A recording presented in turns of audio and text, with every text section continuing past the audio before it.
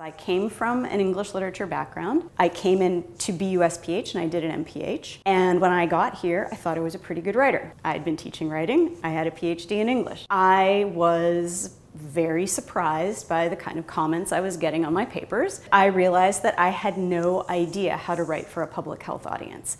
And so I had to relearn what seemed to me like a whole new language and a whole new way of writing and a whole bunch of different genres of writing from writing clear emails and memos to policy briefs to journal articles to reports for donors. The audience for public health was even more important than I had ever thought about it before, and the audience is often it's always different. So you really have to think about who's reading what you're writing and try to pitch what you're saying to them in the simplest and shortest way possible.